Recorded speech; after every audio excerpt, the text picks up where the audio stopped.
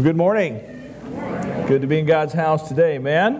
Amen. If you have a Bible, I'd like you to turn to uh, Matthew chapter 5. And if you want to put a bookmark there, you might as well, because we're going to be working through um, Matthew chapter 5, 6, and 7 in the new sermon series. The new sermon series is entitled The Sermon on the Mount. Um, and I will go ahead and share with you uh, this is no uh, coincidence. I believe it was God's way of guiding us, but the uh, Bible study you ladies are going to be studying this fall, coming up here in a couple weeks, is the Sermon on the Mount. Um, I didn't follow Sandy's lead. She didn't follow my lead. She had found a Bible study, and she called me and she said, uh, Don, you have any direction for this fall? You know, what you're thinking about preaching on? And, and I said, Well, I've been praying about because I feel God's lead me to preach through the Sermon on the Mount. And there was a pause. And then she said, That's exactly the Bible study that I had decided to, to lead the ladies through this, this fall. So I believe that God really wants to speak to us through these messages and through the study. And for you ladies taking this study, it's going to start in a couple weeks. And, and if you haven't signed up yet, you probably could, uh, but you need to do that right away. Uh, we're offering it Monday night and Tuesday morning. Uh, hopefully, one of those would work. Uh, but it's, it's going to be apparently, yeah, Danita? I'm leading the Monday night. Okay. And I've started looking at the stuff, and ladies, you need to Yes. It is, yes, yes. I, I looked at the book because I wanted to see, you know, what the content was, and and now now Jen is it Jen? Yeah, Jen is going to teach it in in nine weeks. Uh, I'm going to take a lot longer than that. I have more time than than, than she does on this, so. Uh, we may even have to preach through some of this and then take a break like through uh, Christmas and then go back to it. But I just didn't feel like nine weeks did me justice. To pre- I can take two words and preach a whole message on it. So I got to take my time with this. And to do justice, uh, I felt like I was going to take my time. And we're going to start out in Matthew chapter 5 uh, with the Sermon on the Mount. And the title of today's message, and it's actually for the next three weeks, we're going to talk about supremely blessed. Supremely blessed. And uh, this passage is known as the, the Beatitudes. And, and basically, the Beatitudes, if you go back and take the root of that word, what it meant when Jesus was talking to them about being blessed was to be supremely blessed. How many of you feel like you're blessed by the Lord? Amen? Amen? I can tell you right now, the blessings that you have right now, they're amazing. You need to thank God for them, but God wants to bless you even more.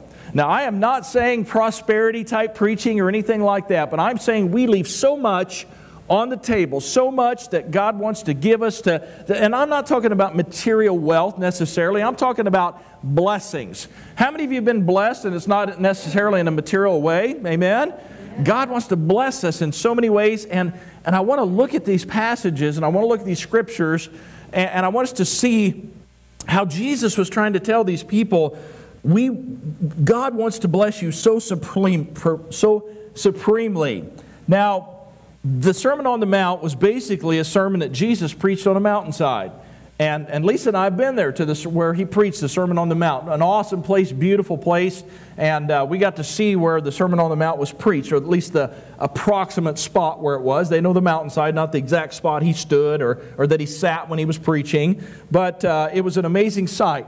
Now, I know that um, being supremely blessed has a different mindset to, to all of you. Different things come to your mind.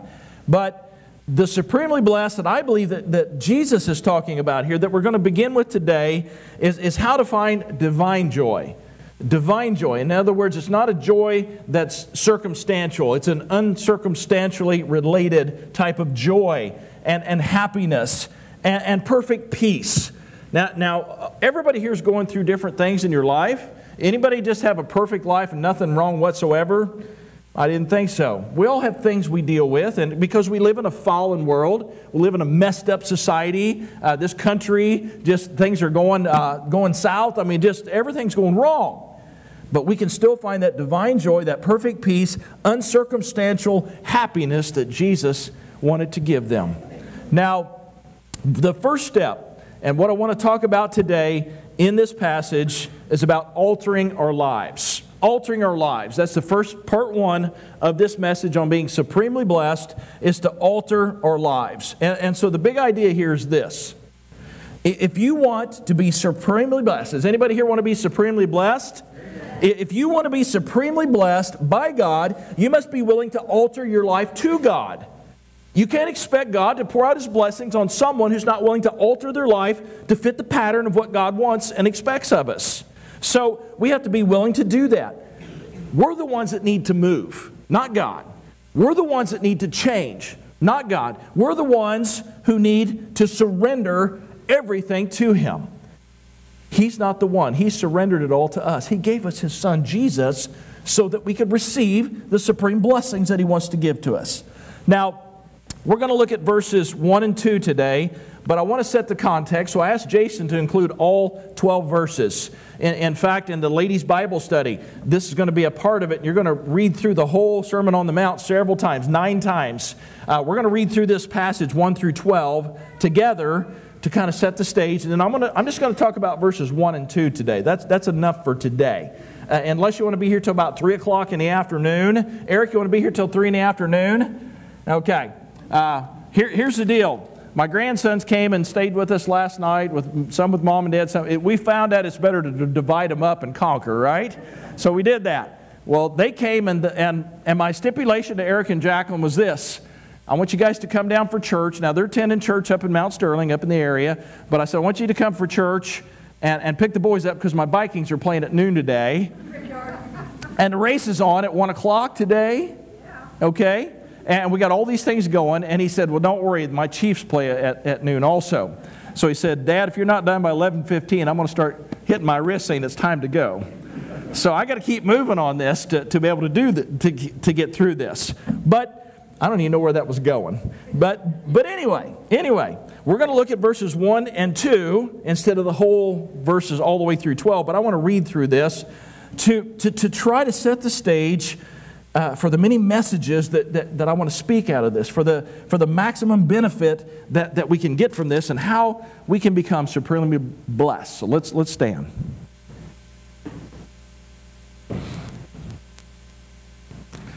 The Sermon on the Mount begins this way Matthew chapter 5, starting in verse 1. And seeing the multitudes, he, being Jesus, went up on a mountain. And he, when he was seated, uh, and when he was seated, his disciples came to him. Then he opened his mouth and taught them, saying, Blessed are the poor in spirit, for theirs is the kingdom of heaven. Blessed are those who mourn, for they shall be comforted. Blessed are the meek, for they shall inherit the earth. Blessed are those who hunger and thirst for righteousness, for they shall be filled.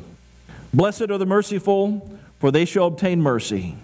Blessed are the pure in heart, for they shall see God.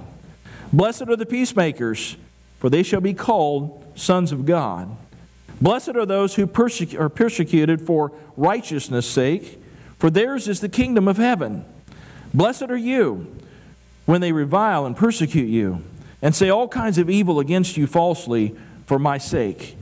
Rejoice and be exceedingly glad, for great is your reward in heaven. For so they persecuted the prophets who were before you. Let's pray. Father, we come to you. We thank you, God, for this day and this moment in time when we look at your word. I pray, God, that your word would speak into our lives, into our hearts, into the very soul, our souls today, Lord, and convict us and convince us and, and encourage us and change us and whatever you see fit today, God. Father, I pray, speak to each and every one represented here today, each and every one who may be listening today or watching today, Lord. Just speak into our lives, God. It's in Jesus' name we pray. Amen. Please be seated. So, this morning we're talking about supreme blessings. Everybody here wants to be supremely blessed by God. I cannot imagine anyone who would not want that. But to be supremely blessed, we must alter our lives to God. That's the first concept that we have to get. We must alter our lives to God. Now, how do we do that? I think we can look at verses 1 and 2 and see that. First of all, we alter our lives to God by deepening our level of commitment. By deepening our level of commitment. That's what Jesus is trying to teach them here. That's what Jesus would want us to know today. He wants each and every one of us, no matter what level you're at right now, your walk with God until you die, until you leave this earth, should be deepening with Him. A lot of people stay on the surface A lot of people never go deep into God's Word to know exactly the depths of what Christ wants to do, what He wants to give us, how He wants to bless us, and we never get past that superficial stage. I think there's a lot of superficial Christians in this world today. They're on the level of that surface and they never go deep into what God has for them. In fact, you can kind of liken that to what was happening here. There was a group of people who had gathered to listen to Jesus, to, to see what Jesus could do for them, but each one of them had a different level of commitment. It, it's kind of like whenever someone gathers, uh, let, us say for instance, let me give you for instance, it, it happens in every group that gathers. Sometimes there's organizations that you're a part of. It may be a, a club, it may be a, a, a, nonprofit organization, it may be to help somebody to, to, to do something, it could be uh, an activity or whatever it may be, but you gather together and there's a group of people, no matter how large that size is. And, and all, in that, and some of you have been there, so you're going to relate, resonate with this, in that you've got people who are just committed on the surface. They just kind of stay at that superficial level. They may show up, they may not. They, they may take part in, in what you're doing, they may not, but they always stay right there on that superficial level. And then you've got those that go a little bit deeper and they commit just a little bit deeper to, to what's going on. That they buy in, uh, they're vested a little bit more. They're there, they, they, they listen, they try to respond if they can. And then you've got those that are, are the core of the group. You've got that core group that if it wasn't for them, things probably wouldn't get done. And most of them are in the leadership level of that. Uh, a lot of them may not be uh, have a leader and namesake, but they're behind the scenes. You know, these people are going to get the job done. These people are, what, are the glue that hold it together. Now, it could be uh, some kind of an organization, it could be some kind of a, a group or a club, it could be a committee, whatever it may be, but you've got all these different levels of commitment. It, it, it's kind of that way whenever I look at, at a church. You know, you've got a church and you've got people who are, are just kind of attenders. They come in and out and they attend once in a while. They, they may even be members, they may be on the rolls, but you, you, you may not see them very often. In fact, you very rarely see them. And we have a lot of members of this church you never see.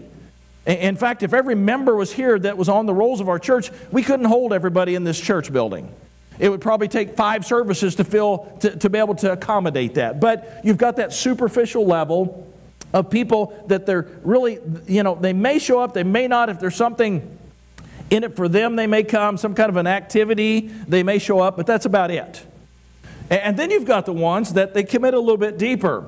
They commit to being in church, you know, a little more regularly, and, and they, they try to come to maybe a Sunday school or ladies' Bible study or, or parenting class or something like that. But it's just kind of hit and miss on whether they really buy in and commit, but they're kind of there, but they're really, you just don't know. And, and then you've got that level that's like the core. The same way in an organization, the church is like an organization, but it's also an organism. It's a, it's a living being, it's, it's a living part because God is in it and we're alive. And, and, and you've got that core group that if that core group didn't do what they did, things would not happen. It just wouldn't exist. Uh, the church would fall apart. And, and you have that level of commitment. It's the same thing that happened in Jesus' day. When they were following Christ, you had the multitudes. Look at verse 1. And seeing the multitudes, Jesus went up on a mountainside and he was seated with his, with his disciples. They came to him. So, what you've got here is a picture of, an, of a group of people, just like we see today, a group of people that you've got multitudes that are there. And, and a lot of them, they're there for an okay reason, but not the best reason. They were there because Jesus was doing miracles. He was feeding people. He was healing people. He was, he was ministering to people. And so they were there so they could see what they could get out of it. Now, I can tell you this right now, and I'm not trying to be harsh and I don't, I'm not pointing any fingers, but if you're here in this church as a part of this body of believers just for what you can get out of it, then you're superficial. You're not in it like Jesus wants you to be. If I get my way, if I get what I want, if I get fed, if I get this, if I get that, I'm okay. But if not, I may or may not be there. I probably won't be there. And, and, and you have that. And that's kind of where the multitudes were. They were there, they were listening, kind of, but they weren't getting it. And, and then you have the next level, and, and I think this level showed up in Jesus' day. Whenever Jesus died on the cross, Jesus, they took him to the tomb, and Jesus died a, a, a lonely death. Jesus died alone and he died for the sins of the world. And luckily, Joseph of Arimathea uh, took, took his body and they buried him and, and Nicodemus. And after Jesus died, people kind of went on their way and they didn't think any more about it. They forgot. Now, looking back, we say, how could they do that? Jesus told them he was going to rise from the dead. But they didn't realize that until after the fact. But after Jesus had risen from the dead, and Jesus has risen from the dead, amen? Okay, that makes all the difference in the world for us here today. That's a game changer. That should change your level of commitment. After that, before Jesus uh, left this earth, he said, You gather, and then before I leave, I'm going to give you the gift of the Holy Spirit. And, and so they gathered together. You know how many people were there? About 120 gathered in the upper room or in that area so that they could worship God. They believed. 120 that were a little more committed. Where were the multitudes at? They were gone. They missed out. The 120 were there, but they still hadn't completely bought in. And then you had the 12. You had the 12 disciples. Now, it's a proven fact that if someone wants to disciple someone, about 10 or 12 people is all you can really disciple very well at, at a time. That's why whenever you have a, a, Sunday school class or a small group or something like that, any more than 12, it kind of gets hard to disciple really on a deeper level. And, and so anyway, they, the, the, the 12 had gathered and they were sitting at Jesus' feet. Now, the rest of them were there, but they didn't get it. But the 12 did. And Jesus tried to pour his life into that 12. Why? Because they were more committed. They were ready to go deeper. Sometimes they messed up. You know, as a pastor, I, sometimes I messed up. I, I still do. But I still want to go deeper with God. And, and so you don't have to be perfect to be a deep, committed follower of Jesus. Don't let Satan tell you just because you mess up every now and then that you can't go deeper with God. That's not true. But it's that level that we have to do to be able to go deeper into altering our lives to be blessed by God. So I ask you this first question How deeply are you committed to God? Think about your life, think about your walk, think about your attendance, think about your buy into Bible studies and Sunday school and, and, and this and all the things that we offer, are you really committed on the level that God expects of us? If not, why not? Do you want to be supremely blessed? Then you have to go to a deeper level. I want to be like the 12. I want to be following Jesus and, and knowing his every word. Next thing, we alter our lives, first of all, by deepening our level of commitment, but then we alter our lives by extending the lengths we will go. Extending the lengths we will go. Now, they gathered on the mountainside. And like I said, I, I, saw the Mount of Beatitudes, beautiful place, and, and they didn't have, you know, the church buildings they came into like we do today, but they gathered on a mountainside out in God's creation, and Jesus sat down and he began to speak to them. That's the whole Sermon on the Mount was preached outside on a mountainside, and the people gathered around of every level of commitment, but they had to really commit to being there. You know what it takes to be in the presence of God? Now listen to me, guys. You know what it takes for you to be in the presence of God? It takes effort. You don't just say, okay, God, I'm here, and, you know, we serve an almighty God. Now, you can be in God's presence no matter where you are. Are, are you in God's presence today? You know, I, I, think some of us forget that when we come into God's house and we worship the one true living God and Jesus Christ is our advocate at the right hand of the Father, we are coming into God's presence. I think a lot of times we don't see the, the supreme blessings of God because we come into church with a kind of just a superficial attitude of, okay, I'm coming to church, I'll sing a few songs, I'll listen to what the preacher has to say, and I'm going home. Is that really coming into the presence of God? How many of you have had experiences where you know you were in the presence of God? Anybody? When you're there, you know you're there. When it happens, you know that it's happening. You know what it takes? It takes effort. God expects us to put the effort out into it. Now, I'm not saying you do magical things and it happens. I'm saying God expects us to put effort into worshiping Him. You know, any goals that we achieve in life take effort. If we're going to achieve something, it takes effort. Now, to some people, it may seem effortless, the things you do, but on the other side, there was effort that was put into that. And, and, and it's like this I I have always had a fascination with the banjo. A lot of you guys know that. I, I just, I'd love to be able to play the banjo. My mom and dad bought me one about how many years ago now? It's probably been 10 years ago. And, and you know what? I, I still can't play the banjo. They even bought me lessons from Harry Kingery, the banjo king. I didn't go. Why? I'm too busy. I got too many things to go. I know that it's going to take effort to learn how to do that. And, and so finally, I'm thinking, and, and I'll, I'll let you know this so you, your, your investment's not totally lost. I, have decided in the last couple months I'm really going to work harder on trying to play this banjo, figure out how to play it. So, you know what I did? I went to Larry Collins. Now, Larry's out in the hallway. Is Susan in here? Okay, Susan, you're going to have to fill him in, okay? So I went to Larry. I said, Larry, let's get together. Larry's retired now. Uh, Susan, how is that? He's retired and you're still having to work. It's okay for now, right? Yes, yes. And you're working hard. I know you told me what's happening. But I went to Larry's house and I said, Larry, I, I need to learn how to do this thing. You know what it takes to play a banjo? It takes effort. And, I'm not saying every, anybody and everybody can play it, but I think anybody or everybody can pick around on it and kind of learn some things. And that's probably where I'm going to be at. So I went and I put the effort in and I go and he says, You got to practice at least 15 or 20 minutes every day. Not an hour or two hours, you'll burn out on it, about 15 minutes. You know what that means? Every day I have to put effort into learning how to play that thing. And it's not an easy instrument to play. You have to use muscle memory. You have to use to where you have to be able to use your right hand, not even think about what you're doing. Now, I can't hardly walk and chew gum without thinking about it, so I'm, I'm in trouble. But I do know that it takes effort. So Larry, he started every day. Have you practiced your banjo? Have you practiced your banjo? And finally, I'm getting tired of it. Oh, Larry, leave me alone. And so I found a way to get back to him. I said, Larry, and, and so I got it. I started bike riding. I used to walk. I used to like to walk a few miles every day. I can't do it anymore. My, my hips and my knees, they won't let me do it. So I, I found a bike and I thought, I'm going to try a bike because they say it's easier on your joints. So I started riding a bike and I'm catching on to that and I'm getting better. The first couple days I thought I was going to die. But I made it through, and I've just every day I ride that bike two, three miles, four miles, five miles, something like that. Every day I ride it, and I'm finding every day it's getting a little easier. I talked to Larry about that. I said, Larry, I said, I'm riding a bike. He said, I've got a bike. And he said, I need to be riding it. I thought, yes, you do. so every day I have this little tracker that shows where I went, how many miles, and how many calories, and all that. And I text that to Larry. I said, How's your bike riding going today? And then he turns around and he says, How's your banjo picking going today? Do you know what's happened with that, Merle? Yeah. We have a lot of fun with that. You know what happens whenever you don't want to put the effort into something? You need somebody to keep you accountable.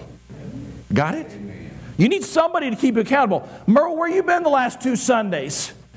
I'm here now, right? Yes. Accountability.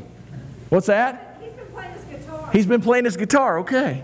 Hopefully for the Lord then, okay? Yes, okay. So you've been practicing to play up here, right? Amen. Not getting carried away. He'll, he'll be fine next week. Next week, okay, okay. Now you're accountable, Merle.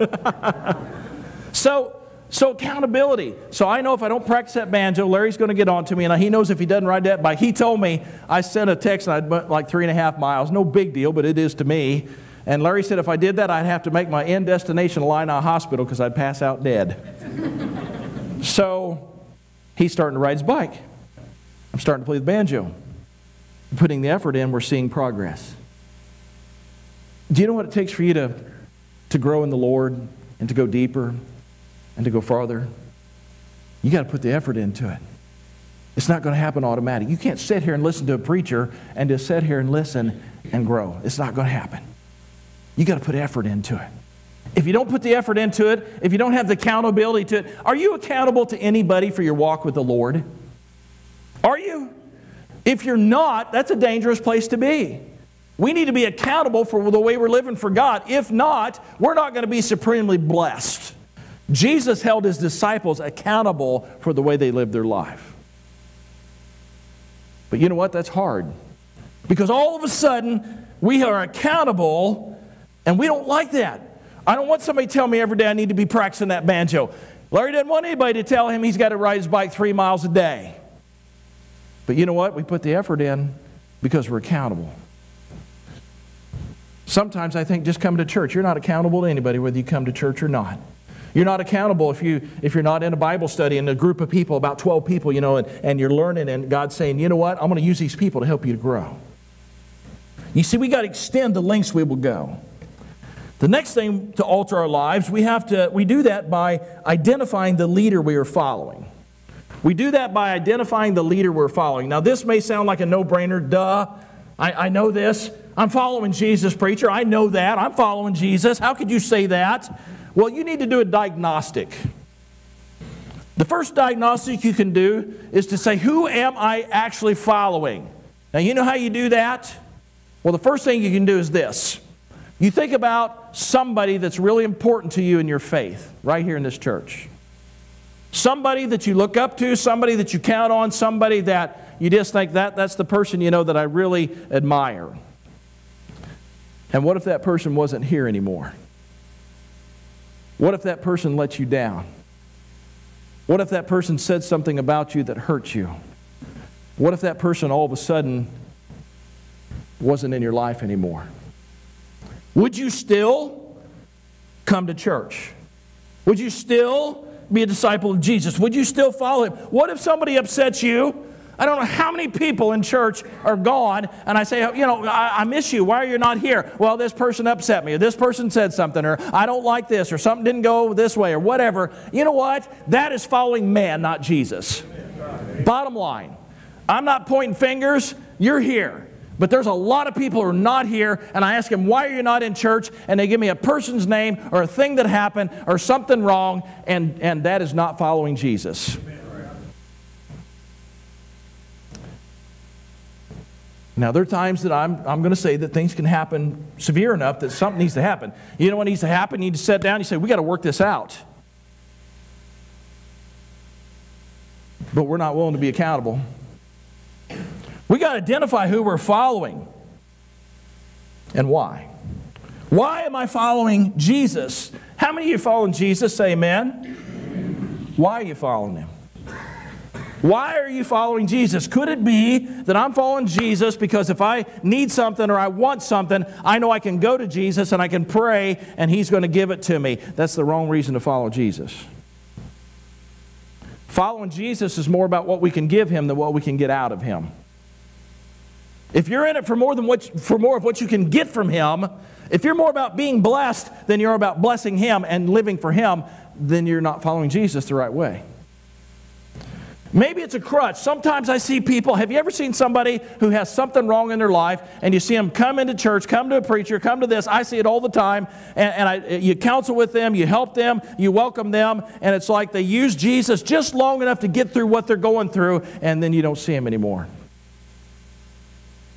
That's the wrong reason to follow Jesus. Maybe it's a feel good. A lot of people go, I come to church because it makes me feel good. Well, that's all right, but what about when it, you don't feel so good?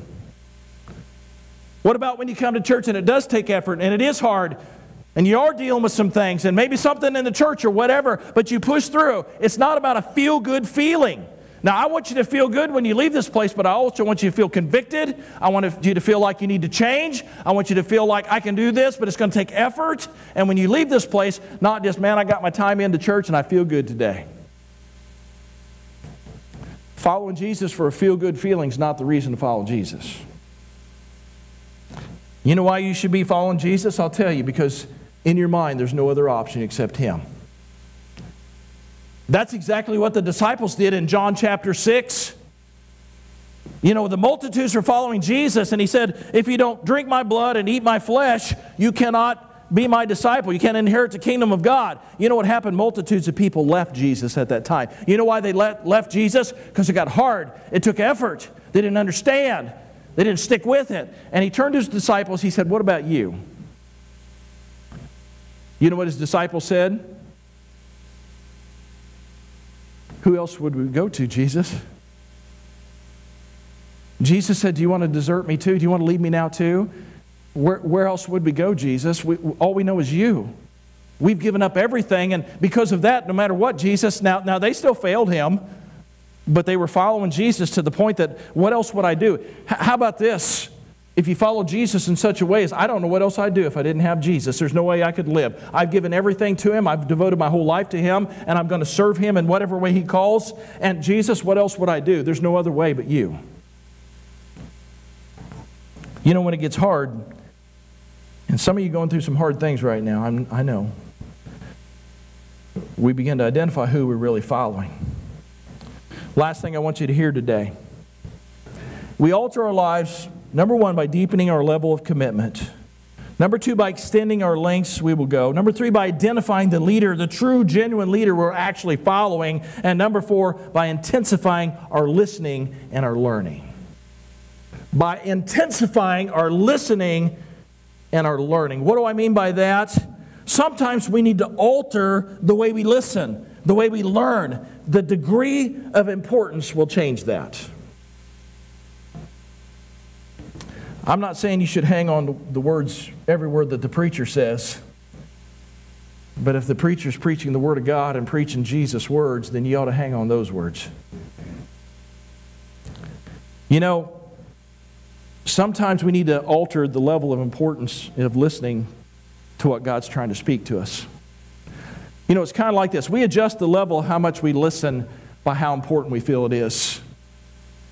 Merle, when Becky tells you something to do, how deeply do you listen to what she has to say? Yeah. But when she puts her finger on the end of your nose and says, Mr. Howland, you better do this, that means you're going to listen to what she has to say. We do that in church, don't we? We alter the level of how we listen. How well did you listen today? I don't know. But I do know this you should be hanging on every word that God wants to speak to you today. It's kind of like this Everybody here has a different level of how they hold on to what God wants to say. Whenever we, Lisa and I, whenever we go on trips, a lot of times we have to fly on airplanes. Go Costa Rica, different places. She knows where I'm going with this. I've used this before, but it's a perfect illustration. We've flown probably a hundred times now, and, and it's probably getting close to that. And every time that you fly, and how many of you have flown in an airplane before? Okay, most of you. You get on the plane and you sit down, and, and of course, my fear is claustrophobia. I don't like the plane to be so small. You know, I don't like to be confined. Lisa has a whole different type of fear, and, and it's a real fear to her. And whenever the stewardess gets up and they have to go through their spiel, ladies and gentlemen, now pay attention to the stewardess, you know, and she gets up and she says, you know, in case of an emergency, you know, here's the exits and there's the exits, and, and you pull this card out, it shows you how to put your oxygen mask on if you lose pressure, you know, cabin pressure, and, and if you, uh, you know, and, and, and all these different instructions, the flotation device, you know, that you can use your seat as a cushion, all that, they go through all these different things. You know what 90% of the plane is doing at that time? Sleeping, talking, not paying attention. You know what my wife is doing? She's got that right, paper right up in front of her, and she's looking at that, and she's watching that stewardess and listening to every word that they say. You know, she listens very intently to what they have. She's heard it a hundred times now, but she's still listening like her life depends on it. You know why? Someday her life may depend on that. And you know what? You know what's going to happen whenever there's an emergency in an airplane? You know what I'm going to do? I'm going to be right by her. I'm going to be sitting by her anyway, but if she, if we need to know that the emergency exit is six rows out and to the right and all that, I'm, I'm grabbing hold of her because she knows where she's going. She's going to know how to get out of the plane. I'm going to be trying to suck for oxygen. She's the one going to be put the mask on me because I don't pay attention. Why? Because my level of listening and learning is not where it should be. What if we treated the Word of God that way? And what if today you treated the Word of God, listening and learning and knowing what He wants from you and, and in you today was so intense that you were looking at every word on the page of the Word of God when the preacher read it? And whenever the points were put out there, and whenever speaking was happening, and whenever things were happening, you were listening very intently. Now, I know some of you say you listen with your eyes closed. I kind of believe you, kind of don't. But I can tell you right now, if I could somehow convince you that Jesus is coming back at noon, and Eric, you'd miss your game if he came back at noon, I'm sorry. I would too. If Jesus was coming back at noon, and this is exactly what you need to do, and this is exactly how you need to act, and this is exactly where you need to be, I'll bet you you'd be wide eyed and listening with everything that you have. Do you know every day you go out into the world, it's life and death situations? Every day you go out into the world, there's a spiritual battle. Are you going to live for God? You're going to live for the world. You're going to live for God. You're going to live for me. Are You're going to live for God. You're going to do the things you want. And we need to listen and learn to what God has to say. There's going to be crisis coming up in your life. Some of you this week will face a major crisis. I don't know who it is. I don't know what it's going to be, but somebody will face a major crisis. And then you're going to say, oh, what did the preacher say? What does God's word say? What, what do I need to do? Because we're not listening intently to what God's trying to tell us. You know, maybe today some of you, some of us, need to alter our level of listening to God. Intensely listen to everything He has to say. So, is Bruce, you going to come play today? I want to ask you this question Are you willing to make the necessary alterations in your life today? Somebody say, okay, preacher, I'm good to go. I, you know, I, I'm all right. I'm getting by okay. Is that all you want out of life in God and Jesus? I think there's some people here today, and probably including myself, knowingly including myself, that there needs to be some alterations in my life in order to be supremely blessed by God. Do you know there's a couple words that sometimes I get mixed up? My wife makes fun of me, but you know, alteration and altercation sound a lot alike, don't they, Lisa? Alteration, altercation. Now, there's a big difference, isn't there? But I came up with this if you're going to alter your life to the level of what God wants you to be, you're going to have an altercation with the devil. You're going to go to battle with him. There's going to be pain, there's going to be suffering, there's going to be hard things to do. But don't you want to go deeper with God? Are, are, you content with where you are in the Lord? Preacher, I don't know my Bible like I should. Well, it's not God's fault. I don't pray like I should. I don't, I don't, I don't I, have got this problem with this person, or I, am struggling with this God, and, and, why isn't God answering me? Or, or, or, or, there's something that, that I'm upset with, and, and maybe somebody in this church, and maybe it's because God's trying to take us deeper. So today at this invitation time, there may be somebody who needs to just simply come to this altar, and, or maybe even where you are, just rededicate your life to the Lord in all these areas. You can do that or you can ignore it and just go on your way and nothing's ever going to change. It takes effort. Most people are never willing to put the effort into really following God like He, he asked us to. So we never see the supreme blessings that no matter what's happened, I've seen people in my life that are so committed to the Lord, so, so in, so following the Lord, that they can have this major crisis going in their, uh, in their life. And as for me and my house, we're going to serve the Lord. And, and no matter what, my trust is in Jesus. And I can face anything. I can do all things through Christ who strengthens me. And that sounds good until you got to do it. it. Takes effort. Maybe there's somebody here today that needs Christ in their life and you've never really given your life to Jesus. And you can never be supremely blessed by God until you belong to God. And you need to give your life to Christ today. Father, we thank you, Lord, for this day. I thank you that you love us so much to send your son Jesus to teach us, to lead us, to set down on that hillside 2,000 years ago and teach us how to be supremely blessed. First of all, it's a relationship with you that was bought through his blood, his death, his burial, and the resurrection of new life. Thank you, Jesus. Father, we have, as Christians, we have so many things, God, that we need to be serving you deeper and farther and really make sure we're following Jesus and not someone else and, and really just being sold out listening and learning from you, God. Help us, God. We're the last best hope for this world, and if we don't get it, they never will, God. Father, help us to respond right in where we are in our seats, God, to pray. But even at this altar, to come and say, God, I just I want to hear your word through these messages. The Sermon on the Mount, Jesus, the greatest sermon ever preached. Pray for your pastor. Lord, I pray that I would be even close to, to bringing out the truth of this in a way that you would want me to, God. The power that's in it. Father, we love you. We Pray for people to respond to your word today. In Jesus' name, amen.